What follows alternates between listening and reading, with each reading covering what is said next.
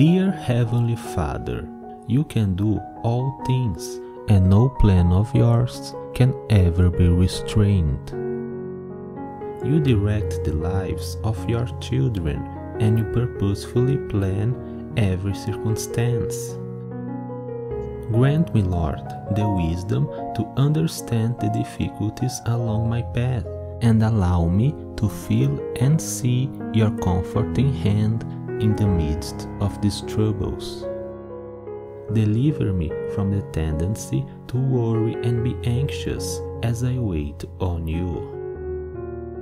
Bless me with a faith that gives me the confidence to face difficulties unfazed, knowing that your plans are always perfect.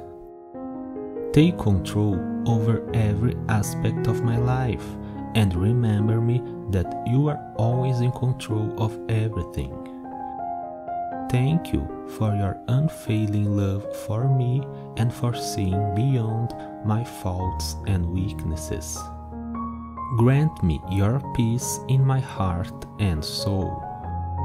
To you, Father, I give all the praise, honor, and glory.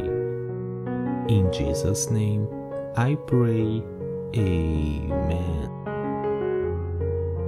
Thank you for watching. I hope you enjoyed the video.